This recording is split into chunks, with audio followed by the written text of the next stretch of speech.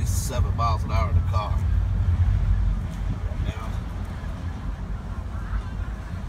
So we're just starting to pull away from Aiden a little bit, as you can see.